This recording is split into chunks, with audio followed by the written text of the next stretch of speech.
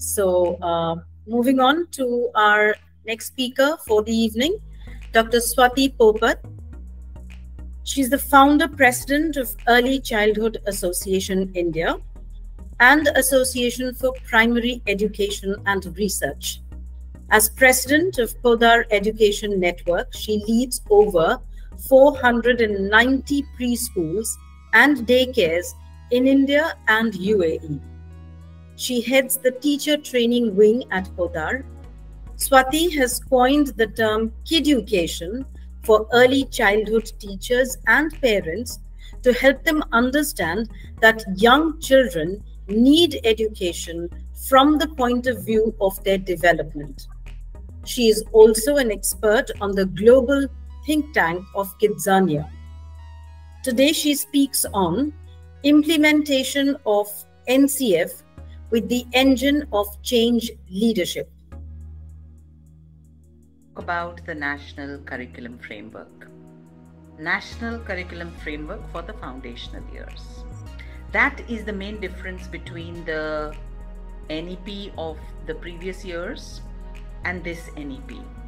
This NEPA has come out with the new term foundational years which means it has clubbed three years of early years and two years of primary together and considered them as the foundation of education. And that is why this NEP brings to us NCFs for every level. This is the first NCF that has been released. It is for the foundational years. And as you can see on the screen now, this is the cover page of the NCF. But if you will see at the top left hand corner, you will see that little design, right? It's called the Mobius symbol. So the Mobius symbol is what makes this entire document, this motif of the Mobius is what actually gives us the message of what this entire document is all about. Because the Mobius stands for something which is perpetual, ongoing, developing and that is what this NCF says that we want education to be an ongoing, developing process. It's a never ending process. There is no start and a beginning. It's a development that is ongoing, and that is what we need to keep in mind when we are trying to understand and implement the NCF foundational what is foundational years? And why why are we talking about brain development and everything? You know it's so nice that people nowadays throw that phrase around uh, the first six years are meant for brain development etc but what is it? What is this brain development that we are talking about? If you look at the poster on the right it says raise your hand if you learned this before you were six years old. And look at the amount of skills given in that poster. You learned all this in the first six years of your life. After that, you only enhanced those skills or learned how to do more with those skills. But the foundation of those skills you got in your first six years. And that is the importance of the first six years. And now for the first eight years in the foundational thing. From brain development to school preparedness to improved learning outcomes, equality, justice, employability, everything, the prosperity of a country depends on what that country invests in the first eight years now. And that is going to be the most important takeaway from this national curriculum framework. So, as you go through the national curriculum framework with your team, with your school, it's a 360 page document, but you don't have to get scared of the 360 pages uh, the beginning of the pages are more about the you know contents etc the last pages are more about the annexures required uh, but there's a lot of wealth in this NCF, and that's what I'm going to take you through in my presentation. But with this NCF, I would also tell you to go through four more documents. One is Nipun, Nipun is National Initiative for Proficiency in Reading with Understanding and Numeracy. Nipun is a very important document because our goal is foundational literacy and numeracy. The second document that you should go through is Vidya Pravesh. Vidya Pravesh basically helps um, the pre-primary children or the earliest children or the kindergarten children transit to grade 1 and 2 so these two documents extremely important. The other two documents which i would urge you to go through are uh, guidelines for design and implementation of early learning programs, which is by UNICEF. It has some excellent examples of lesson plans, etc. And NCERT a few years back came out with the preschool curriculum. This document is again a very essential document. So please go through that also. And the last two documents which I would like you to go through are Experiential Learning Nai Talim uh, by SCRT Chandigarh it talks about Mahatma Gandhi's um, take uh, in the Nai Talim about experiential learning.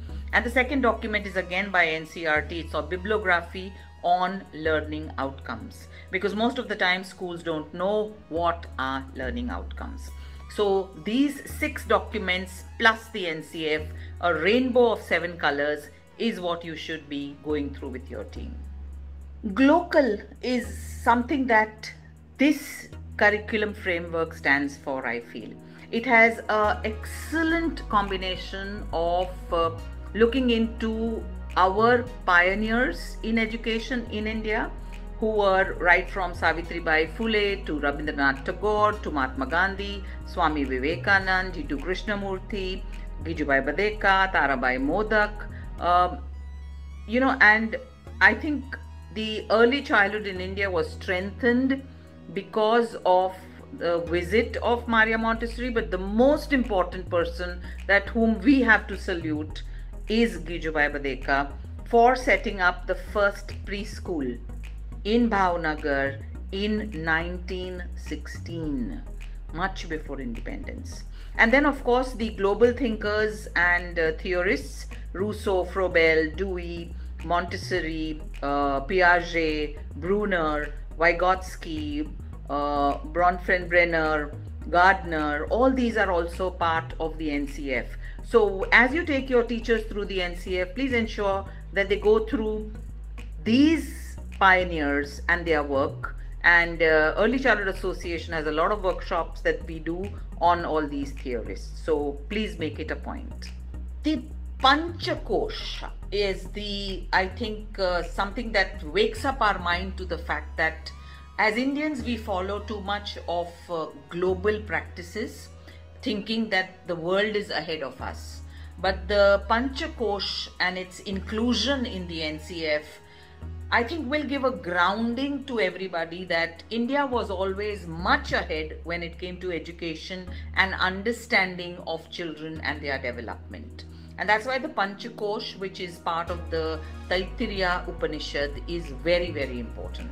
So look at the first aspect of the Panchakosh. It talks about physical development or the Annamaya Kosh, where uh, or the Pranamaya Kosh, where we talk about body awareness, uh, how body is involved in learning, how sensorial learning is a very important part. Then you have the emotional, spiritual, uh, and the ethical development. So, socio emotional ethical development covered in the Manomaya Kosh. And then you have the development of the intellect, which we are very fond of, intelligence, cognition, uh, which is part of the Vijnanamaya Kosh. Uh, and also the Anandamaya Kosh, which talks about the aesthetic and cultural development. So I prefer, you know, we go gaga over multiple intelligence theory, but it's ingrained in our culture. The Panchakosh was always there with us, and it's time for us to embrace it. Another important element that you should go through when you are going through the NCF is the fact that it focuses on the inner to the outer, which means internal and external. That uh, you not only have to work on the external habits of a child, uh, everything will come from internal. So the term intrinsic and extrinsic becomes very important. So whether it's self learning, which becomes intrinsic learning, or self discipline, which is again intrinsic.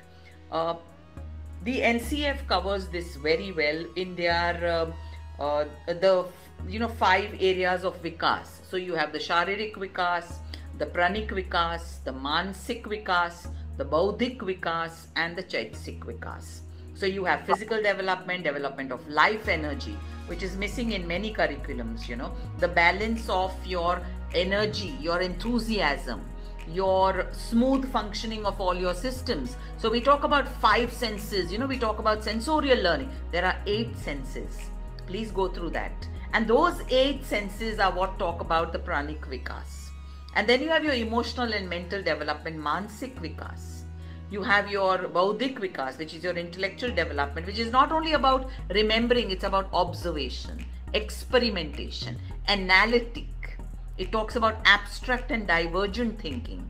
So you see, uh, spiritual development is also taken care of. It's uh, vikas, happiness, love, compassion, spontaneity, freedom, aesthetic sense.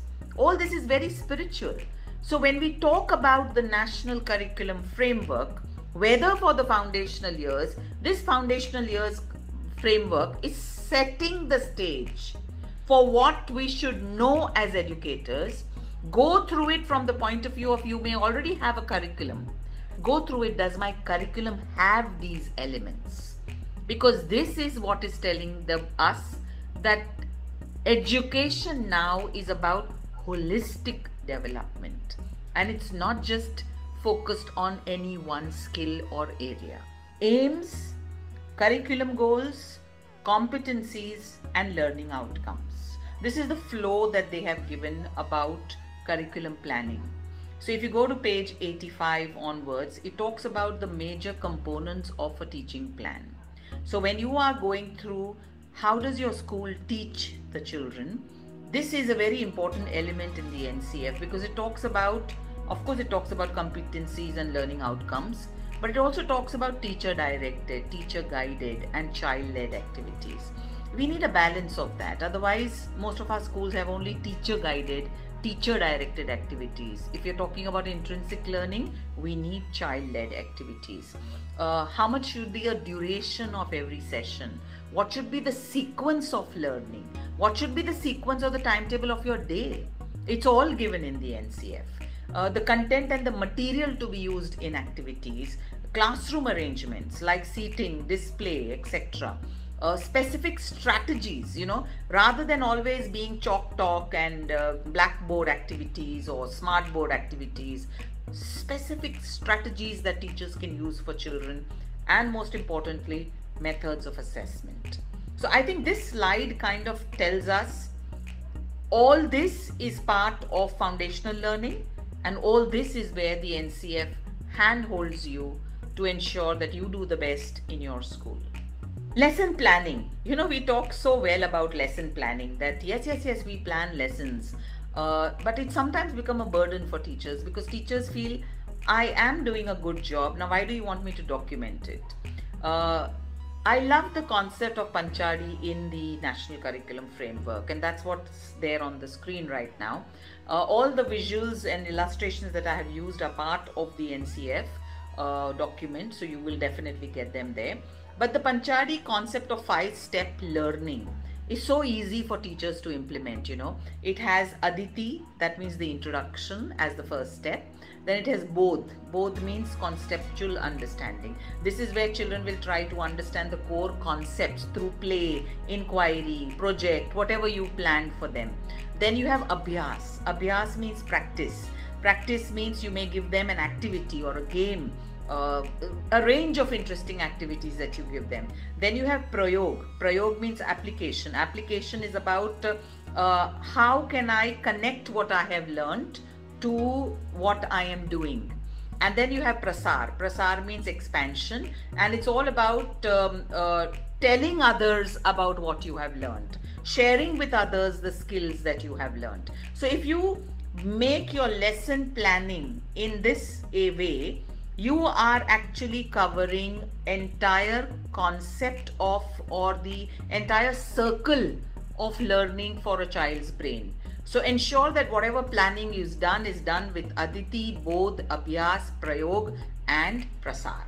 Very important. I mean, it's so brilliantly explained that how you go from the start of your activity or lesson to the end result which is about children talking about their learning. Excellent. One of the most important aspects which I loved about this NCF and which all of you should actually go and check your classrooms for is it talks about on page 38, it talks about how children learn the furniture layout. And it says three words that this is how children learn choice, wonder, and joy. And I think that kind of tells you everything that you need to know about whether your school is a great place of learning, whether children will enjoy the lessons in your classroom, whether you should choose this toy, whether you should choose this app. Look at it from three words choice, wonder, and joy. When it talks about classroom layout, what I have written on the left becomes very important that learning at this stage is active and interactive process. They not only learn through play, they want to interact with other children. So if you are still going to have those table and desks, you know, those front facing table desk, table desk, table desk, oh my God, please don't read the NCF because then it's not meant for you. What you need is round tables where children can socialize, be with each other because of neuroscience the says that the brain is social so when you put them in this compartmentalized uh, seating arrangement, the socialness of the brain suffers and then it can't learn. And this is what is very importantly given in the NCF. And that's why I, I give this NCF good marks because it's not only about curriculum planning, it's, it connects theory to practice to everything. So it's very, very important to understand what I have put on the right also. The children like to do the following do you provide opportunities for it? Children will like to kick, run, play, tear, jump. Uh, is your classroom meant for these things? And is your timetable taking care of these things? Which means, are you cooping up the children full day in the classroom? Or are you also taking them outside to another room, to an outdoor space? So, this particular slide uh, and this particular page, I think you should keep in mind if you're building a new school or if you already have a school, then look into it from the point of view of children's learning. You will be training your teachers with or without the NCF. But now, with the NCF, of course, you need to train your teachers, and it takes care of it brilliantly on page number 91. It talks about how teachers can support children to learn better. How can you make your classroom practices with teaching strategies not just मैंने puppet show दिखाया मैंने flash card दिखाया नहीं आपकी strategy क्या है how much time are you giving for the children to talk what kind of questions are you asking so if you see on the left listening modeling solving problems questioning provoking researching and making children independent are strategies that teachers have to use so, which means you will have to focus now on ensuring that your teachers not only know the what and the how, but they should be able to know the why. And I think one of the most important parts of this NCF is the why. A lot of people say 360 pages, but I think 360 pages was because the NCF did not only want to tell you the what and the how, it wanted to tell you the why the reason behind, the research behind everything that is given in the NCF. A lot of pages in the NCF are about learning through play. And what they have said is play is not just about playing. Play is about conversations, play is about stories, play is about toys, play is about music, play is about art, and play is about craft. So that's what they say when they say play. And it's very, very important for you to have a look at this slide that uh, Gijubhai Badheka was actually the one who came out with this entire story pedagogy. He taught through stories. He said children remember things better through stories. And if you see this slide, that's what it says that these are the skills connected to the brain that a story develops in children. It develops focus and self control, it develops perspective taking, communication, cognitive flexibility. Now, look at what I have given you in this slide focus and self control. When you retell a story, change a few facts and see where the children remember and they tell you, no, no, you told us this last time. No, she wasn't wearing this color. Focus and self control. Perspective taking one of the most important ways in which children learn about emotional development and understanding empathy is through stories because they become a part of every character in the story. They are able to take the place of every character, think like that character. Communication, of course, your language improves when you are telling stories. And uh, cognitive flexibility. Sometimes uh, when you say, okay, I'm going to continue this story later, or I have to move from one scene in the story to another scene, you are developing cognitive flexibility. So don't just look at stories as entertainment. Stories are not just entertainment, that's what this NCF talks about. So when you are planning, when you are discussing after this, please focus on story pedagogy. Very, very important. One of the other aspects about learning through play is the toy pedagogy. This, this NCF talks a lot about the toy pedagogy. And I've done my research, and as you can see on the left hand side, the poster, every state of our country has different toys. Some of them are made of wool, some of them are made of wood, some of them are made of shells, some of them are made of all different materials. But what do we do in our classrooms? We have plastic toys. Everything is plastic. So all your role play corners has plastic. Maximum we will have is cloth because of the puppets and wood because of the blocks. But think about it. If you give me a wooden kitchen set and then you give me a steel kitchen set and then you give me a plastic kitchen set not only am i feeling different materials but my hold is also different for all these materials. Hmm. My steel kitchen set will require a finer grip. My wooden kitchen set will require a bigger grip. So when you're giving me toys made of shells, I learned to be a little more careful with them. Because when I told my teachers also that we're going to include toys of different materials, and he said wow ma'am teacher ch- children will break them. Uh, ma'am aap mud ke toys deunge the teacher children will break them. I said no. Always remember montessori whenever you think children are going to break something. She said children learn by imitation. So the way you handle the material children will watch you and handle the material like that. When you are handling that material talk to the children. This is slightly delicate so we will have to be careful. But don't away take away from children the fact that India is a rich country when it comes to our heritage of toys. Think about it. Tribal children also play with those toys. They don't break them. So then why are why would your children break them? So please make use of the toy pedagogy that our country is known for.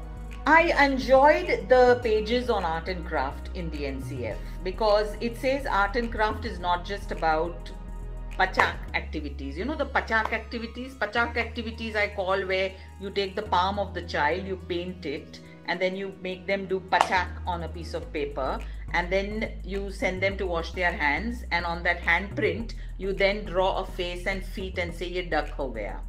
That's called a pachak activity, which is so bad for children because children did nothing in it. Children did not create anything in it. The teacher did it This NCF talks about that. It says, please don't do art and craft activities like that. And when we talk about art and craft, it talks about drawing, painting, pasting, play modeling, tearing, cutting, folding, constructing. Your school displays should be rich with all different kinds of art and craft, not just paper लिया sticking किया colouring किया painting किया no have different and also make it that you know if, if you are doing an art activity give children different material and let them choose what they want to so that each child's activity looks unique otherwise आप classroom देखो 40 लोग 40 बच्चों के लगाए होंगे all 40 look the same no we don't want that kind of factory nonsense it's very, very important. And here I would say, if you have read our book Once Upon a Gift, it was Froebel who included this in the schools and he called them occupations. So I'm so happy to see this Froebel occupations as part of the NCF. Please change the way you do art and craft in your schools. As you know, Nipun is a very important document, and our goal of the NEP is foundational literacy and numeracy. And uh, what i enjoyed there is there is a section called foundational literacy but i enjoyed the section on foundational numeracy. Because i think numeracy is very weak in our country. We we have a lot of things for phonics and this and that. But numeracy we are not going from concrete to pictorial to abstract. Look at the right side of my screen we go straight to abstract. We start doing worksheet activities with children. And that is why i loved pages 117 to 122 which talk about foundational literacy. And this what i have put on the slide is what i loved. They talk about the ELPS concept for numeracy, where E stands for experience, L stands for spoken language, P stands for pictures, and then S stands for written symbols. So, which means when you're teaching children about numbers, First, let them experience concrete objects for counting. Let them experience the spoken language of one, two, three. So this is where your songs, you know, uh, will help uh, that you sing with children. Uh, but be careful when you're singing number songs. First, choose forward counting songs before teaching them backward counting songs. So, what's the difference? Forward counting songs are 1, 2, 3, 4, 5, once I caught a fish alive, 3, 5, 6, 7, 8, 9, 10, that way backward counting saw sounds are five little ducks went out one day, uh, mama duck said quack, quack, quack, and four little ducks came back, back, back. So this is backward counting. Till children have not learned forward counting, please don't do backward counting. And then of course pictures and then comes writing of numbers. So I'm so happy that foundational numeracy is also now that knowledge is being given to teachers how to do it in a scientific manner. Another very important aspect of the NCF is page 123 to 130, which talks about children's behavior. I mean, I mean, look at it. An NCF is also training teachers on how to handle children's behavior, how to understand children's behavior. There is not always one reason for a child's behavior. There can be multiple reasons which you have never even thought of. And it talks about that there are four kinds of behavior that you would notice in children. One is aggressive behavior, one is antisocial behavior, one is disruptive behavior, and one is inappropriate expression. So, which means they cry or they scream or they shout. And what teachers are taught, taught in this NCF is focus on your voice, focus on your words, focus on your body language, and focus on your attitude. I mean, it's it's a document that is a kind of a, a course in teacher training. Wonderful. Pages 144 to 149 focus on something which is very interesting which is ways of organizing content. You know you heard the word inquiry method or the project based method. It gives you a different approaches that you can use when you are teaching children like project based approach or story based approach theme based approach or eclectic approach and you must also read up on uh, Rabindranath Tagore because he also had come out with three different methods of teaching. So I'm very happy to see that India was always doing a lot of things that now the world is talking about, and it's time for us Indians to understand that local is the right way to go forward.